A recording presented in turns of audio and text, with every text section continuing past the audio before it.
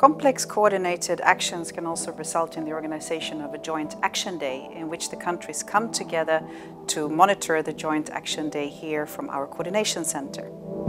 Here we are inside the coordination center from which such joint action days can be monitored and supported in real time with the assistance of Eurojust's casework unit.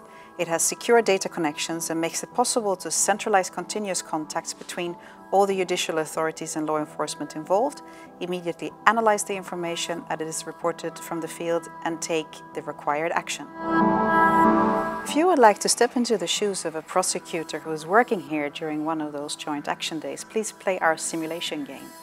It's a simulation of a coordination center and we actually take you on a journey, step by step, what happens during one of those days. But this time, you're in charge.